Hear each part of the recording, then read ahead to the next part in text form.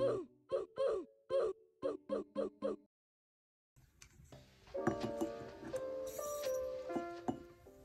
guys, welcome to my channel. My name is Jazmin and today we are going to be doing a paint with me video.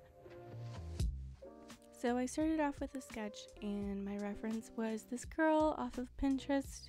If you guys would like to use her as a reference, I will go ahead and leave a link in the description box below. So I actually forgot to mention which set I am using and I am using the Himi, H-I-M-I, I'm not really sure how to pronounce it, um, gouache set. You can get off of Amazon for about $30 I believe and they do come in two different colors. The pink palette, I think there's a blue one as well, and the green one like the one that I have. Um, but yeah, I definitely think it's worth the purchase. Um, I have watched so many reviews about the set on YouTube before buying it, and I was convinced. I am actually not really a, like a painter, I guess. I usually never paint. I never painted until I got the set, pretty much. Um, and I have had a few struggles with it, as most people do when they're getting started in a medium.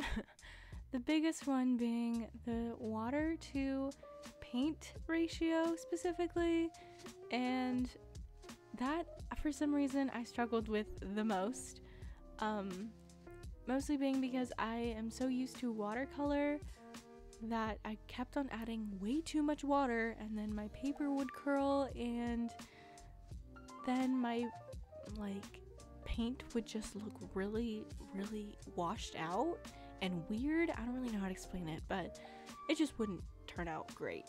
So over time, I have learned to uh, just pack it on pretty much and yeah, just work with what you got pretty much. so I'm pretty happy about my purchase, honestly. For 30 bucks, it's a pretty nice set. There's, oh my god, I don't even know how many colors there are. 18 colors. There are 18 colors, by the way.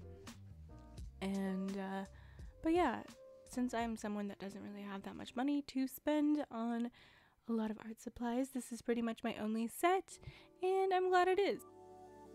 I also forgot to mention my other struggles that I have with painting in general, which is um, picking a color palette. Um, I always struggle with this because I am so used to just working with charcoal and graphite, so like the values are very, very different than with color, obviously. Um, so I I definitely struggle with that.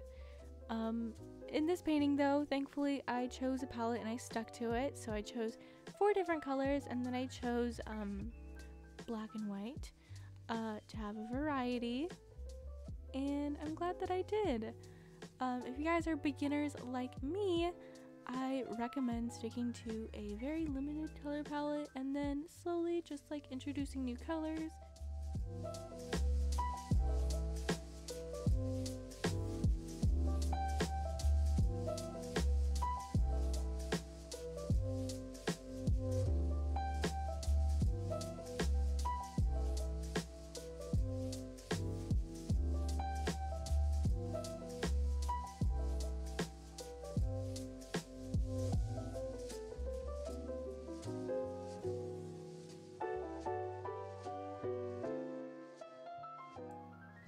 So in this frame, you could actually see the gouache set that I am using. And the colors, again, that I was using for this are the red, the yellow, the blue, the pink in the far left corner, and the black and white.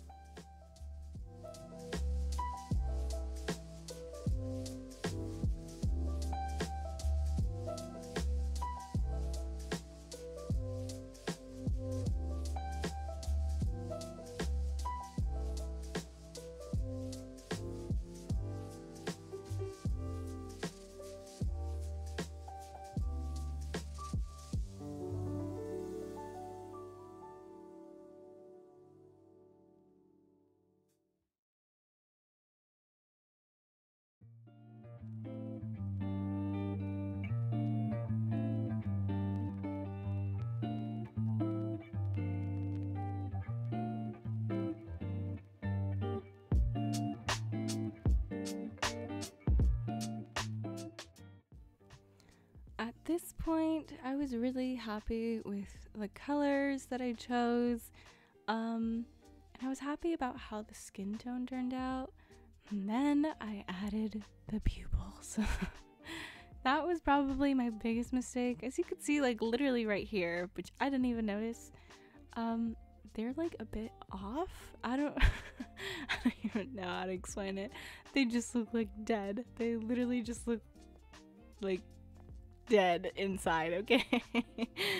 well, yeah, so as you could tell, again, I'm a beginner, so we still have a lot to learn, and this is just pretty much our journey to build on our like skills um and hopefully some of you guys could you know grow with me and experience a few things together rather than you know yeah so maybe you guys can learn from my mistakes and obviously hopefully i will learn from my own mistakes.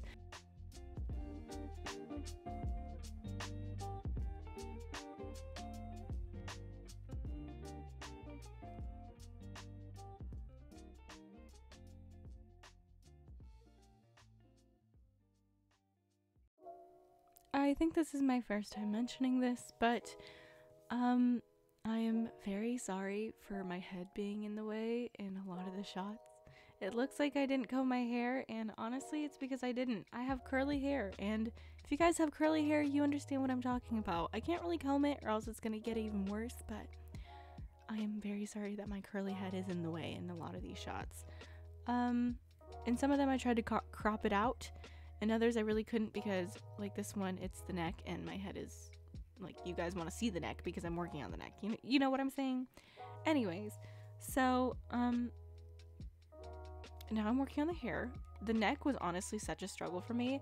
I kept on overworking it like crazy and kept on adding more and more color on it when I obviously should have let it dry before I started adding more color onto it, but I didn't you know, understand that until after it dried and I was like, oh, it looks okay. You know, like there's just some things that you just gotta let it dry and sit for a while before you can go in and work on it again. And that was definitely one of them, um, which I'm glad that I ended up, you know, just letting sit there because I think I really liked how the shadow on the chin looked at the end of the day. And I think I got the neck to match the face pretty well anyway. So I'm glad that I did that. Uh, moving on to the hair. Um, the way that I do hair is very loosely, and I don't really like putting too much effort in the hair, to be honest with you, just because I want the focus to be more on the face rather than the hair. So, yeah, um, I added a few shadows into it just to see, make it seem a bit more realistic. I added some highlights in it as well. Um, there are some parts of the hair, like the head, I don't even know how to explain it, but it's like the biggest issue that I had with this piece in general was actually proportions, which I yeah, um I obviously need to work on them quite a bit.